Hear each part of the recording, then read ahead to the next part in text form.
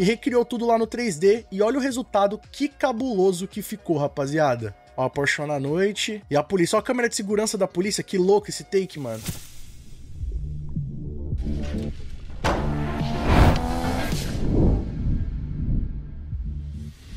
E aí, pessoal, tudo bem com vocês? Sunny Play aqui outra vez e galera, recentemente aqui no canal tô trazendo para vocês algumas prévias de como vão ser os gráficos do GTA 6. E muitos de vocês têm gostado bastante desse conteúdo. Só que no vídeo de hoje, eu vou mostrar um cara que ele foi além. Isso porque ele construiu uma versão do GTA 6 em 150 dias. E o resultado ficou simplesmente incrível. Mas e aí, será que os gráficos do GTA 6 vão ser melhores do que isso? E como será que o cara construiu essa parada toda em 150 dias? Fica ligado aqui no vídeo de hoje que eu vou estar tá mostrando todos esses detalhes para vocês. Mas ó, não vacila não, já chega deixando o like pesado para fortalecer inscreva-se aqui no nosso canal para ficar ligado nos nossos vídeos de GTA 6 e muito mais. E galera, só lembrando que a minha página do Facebook foi roubada, eu não tô com acesso a ela e estamos lutando aí da melhor forma possível, inclusive na justiça para tentar recuperar. Então já alerto vocês a não clicarem em nenhum link e se possível silenciar os stories e logo menos eu dou mais informações se a gente conseguir recuperar a página, demorou?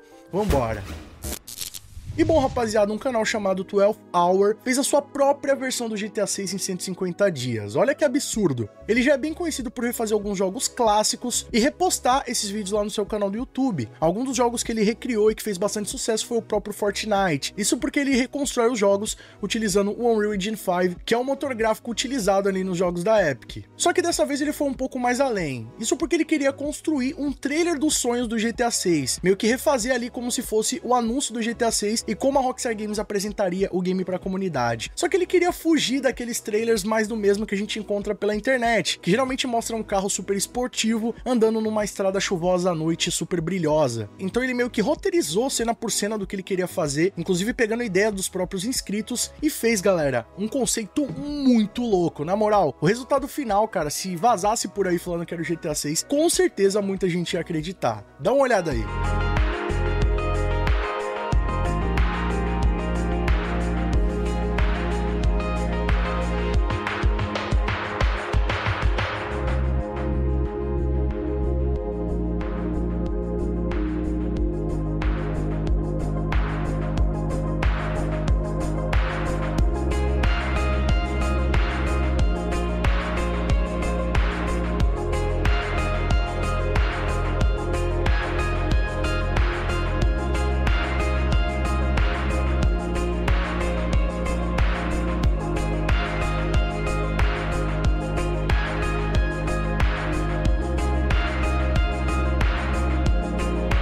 Ficou cabuloso, né, rapaziada? E o mais da hora é que ainda nem tá pronto, ele ainda tá fazendo e tá reportando todas as etapas lá no canal dele do YouTube. Então hoje eu vou mostrar para vocês como é que ele criou todo esse jogo em 150 dias e quais foram os detalhes que ele utilizou que deram esse toque especial para ficar ainda mais realista. Vambora! E bom, rapaziada, aqui tá o vídeo do canal 12 Hour, eu vou estar tá deixando o link na descrição, também no cardzinho aí. E bom, eu não vou rodar o vídeo dele com áudio, porque basicamente ele tá falando tudo em inglês, e eu sei que muitos de vocês não iriam entender, então eu vou tentar só assistir as imagens e resumir lá o que ele fala no vídeo, porque eu já dei uma olhada, né? Mas basicamente ele conta que ele já havia feito um conceito, né? Que é esse daí, que já tava muito impressionante, mas ele jogou tudo fora, tá ligado? Porque tava saindo mais do mesmo, né? E como eu falei para vocês, o cara nesses últimos tempos se especializou bastante, né? Na criação de conteúdo, ele faz outros tipos de conteúdo, né?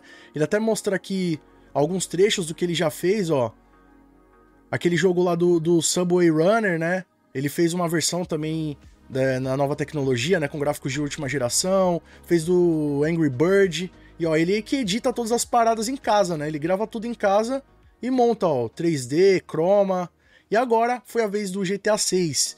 Ele utilizou, né, a RTX 4090 para poder rodar aí os gráficos boladamente e poder desenvolver o jogo da melhor forma. E ele conta, rapaziada, que o primeiro desafio seria fazer os personagens realistas. Então ele comprou esse pacote aí de personagens ultra realistas, né? Ele não desenvolveu do zero, comprou para poder fazer o conceito, né? Com os dois protagonistas, homem e mulher. E olha que bagulho interessante, rapaziada. É muito realista mesmo o bagulho, né? Só que para fazer essa movimentação realista, ele gravou o próprio olho dele se movimentando e replicou dentro da animação do jogo, tendo aquele resultado ali que ficou impressionante, né? Vamos dar uma olhada. Olha essa movimentação do olho, mano. Até a textura da pele é, tipo, absurdo, tá ligado? Olha lá, ele animou por cima do, da gravação do próprio olho dele, mano. Ficou muito louco, né, rapaziada? E ó, esse, esse personagem dá até pra mexer o dedão, velho. Que louco. E ele comprou, né, essas paradas, gastou 200 dólares para poder comprar aqueles personagens. Então ele ficou pensando o que, que criar, né, para poder fazer um trailer realista e que fugisse do padrão. Então ele anotou as ideias, pegou ali também a dica da comunidade, da galera que apoia ele, e pegou e começou a aplicar as ideias. A primeira ideia que ele teve foi um shot, né, andando de moto, um take andando de moto pela cidade, e principalmente focando na câmera em primeira pessoa, já que no GTA V andar de moto é muito tosco, né, mano? Você vê que não tem emoção nenhuma. Então ele meio que se baseou nesses vídeos de motovlog da galera andando de moto para poder recriar essa cena. E ele, tipo, recriou, né? Essa, esse trecho da estrada, com, essa, com esse viaduto aí, né? Essa ponte, né? Porque eu acho que tá em cima da água. E recriou tudo lá no 3D. E olha o resultado, que cabuloso que ficou, rapaziada. Olha lá o takezão olhando a cidade. Olha lá, ele fez a movimentação dela ali na moto também, né? Toda essa movimentação que aparece ali, ele foi recriando manualmente, entendeu? Olha lá, as placas de Vice City, a moto. Claro que ele comprou muita coisa aí também, né? Não recriou tudo do zero. Mas olha essa movimentação que ele fez, cara, no resultado final. Olha lá.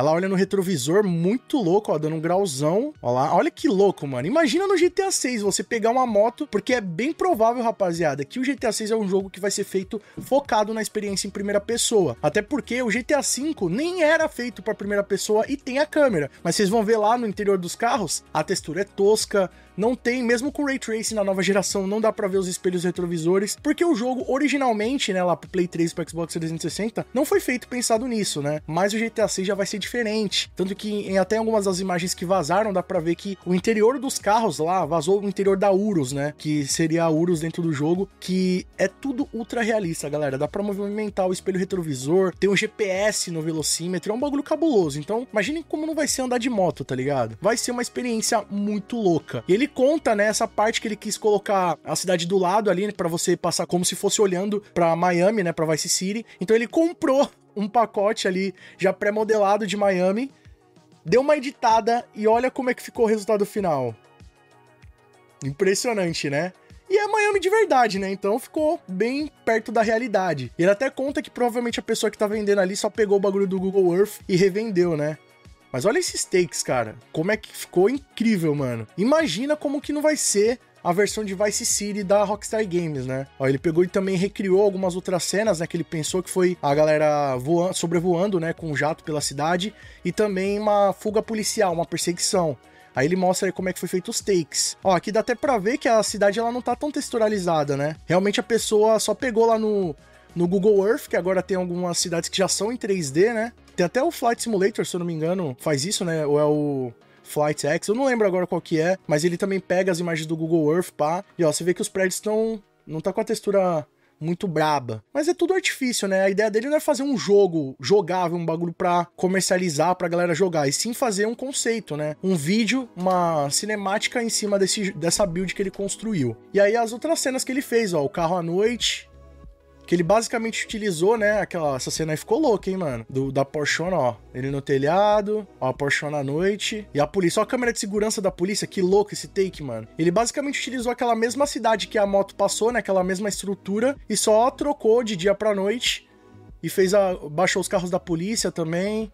Tipo, o cara não é um desenvolvedor de games, né, rapaziada? Ele é um cara que faz machinimas, conceitos. Mas ele desenrola aí nos motores gráficos, pelo menos para poder fazer as imagens, né? E o resultado ficou muito louco. Só a animação que não ficou brabo, ele até zoa aqui que. Olha lá, o carro vai de lado, assim, tipo, ficou bem tosco, né?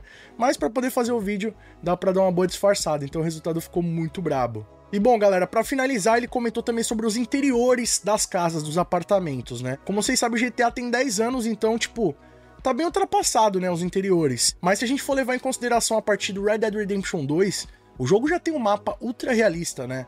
Até as casas, os interiores já são muito realistas. A única coisa que, no meu ponto de vista, no Red Dead Redemption 2 que ainda não tá lá essas coisas é os personagens. Mas quando você coloca em primeira pessoa, se você olhar assim à noite, o céu, já é muito impressionante. Isso jogando na geração passada. Imagine agora nessa nova versão que pode sair com Ray Tracing. E ele já imaginou como é que seriam os interiores do GTA 6, do GTA 6 Online, que com certeza, rapaziada, já vai ser um bagulho muito mais realista, né? Aí ele também montou ali no, no 3D e olha como é que ficou o resultado final, galera. Vamos dar uma olhada. Olha lá, ele montou. Olha aí, ó, como se fosse a Lúcia no apartamento. Cabuloso, mano. Olha, olha os carros, rapaziada. E aqui eu ainda tô vendo numa câmera acelerada, né? Vou colocar aqui na movimentação original para vocês verem como é que fica fluido, cara. Se liga. Olha isso, rapaziada. Ela vai começar a andar ali. Não, ele fez os quadros personalizados também. Tem o John Cena ali, tá ligado? Olha lá, indo pra garagem. Olha essa garagem, mano. Sem loads. Imagina, GTA Online. Você poder entrar pelos cômodos, ir pra garagem, tudo sem load, cara. Olha os quadros personalizados. E assim, muitos jogos atuais, né, dessa nova geração, já possuem interiores e até mesmo veículos nessa pegada, assim, bem realistas, entendeu? Então imagina o que, que não vem por aí no GTA 6 feito pra nova geração, rapaziada. Vai ser cabuloso. E ele faz outros conceitos também, ó. Ele vai fazer a Los Santos Customs, ultra realista, ó, ele também vai fazer uma outra versão, né, dessa parada do GTA 6, ele ainda tava finalizando, que ele vai capturar os movimentos, ó. Acho que até aquele movimento da, da Lucy andando foi ele que capturou ó, com a roupa de motion cap, muito da hora, velho. E olha esse take que ele mostra no final aí da Los Santos Custom, ó. Isso é tudo ele que fez, rapaziada. Parece vida real, tá ligado? Mas aí, o que vocês acharam desse conceito feito pelo canal 12 Hour? Será que o resultado final da Rockstar Games vai ficar melhor do que isso aí? E aí, o cara mandou bem ou não? Comenta aqui embaixo sua opinião, que ela é muito mais do que importante, e vamos trocar uma ideia sobre isso aí. E galera, se gostaram do conteúdo do vídeo, não vacila. Deixa o like com pesado pra fortalecer, que isso ajuda muito o nosso trabalho. E já se inscreve aqui embaixo, ativa o sininho com todas as notificações, pra você não perder nossos novos vídeos de GTA 6 e muito mais. E só lembrando que os membros do nosso canal veem os vídeos antes de todo mundo, além de ter o seu nome passando na tela, assim como de toda essa galera, ter acesso a GIFs, figurinhas exclusivas e muito mais. Então não vacila, clica aqui embaixo em Seja Membro e vem fazer parte da Mafia Play você também. Se não puder se tornar membro, não tem problema. Clica aí no botão Valeu, que a partir de um realzinho, você apoia nosso trabalho e deixa sua mensagem personalizada para todo mundo ver. E corre agora e nos siga nas nossas redes sociais, principalmente lá no meu Instagram e no meu TikTok, Sunnyplay Underline. Lá eu tô postando o melhor do nosso conteúdo e vocês também podem mandar sugestões de vídeos novos e trocar uma ideia comigo. Só lembrando que meu Facebook tá naquela situação, tô tentando recuperar e vai dar bom, demorou rapaziada? Fica ligado que em breve eu dou mais atualizações para vocês. E não fica por aí não, escolhe um desses vídeos do canal Sunnyplay que aqui só tem vídeo para vocês e continuem nos acompanhando. Muito obrigado pelo carinho, espero que tenham gostado demais do vídeo do canal. Tamo junto, aquele abraço e falou!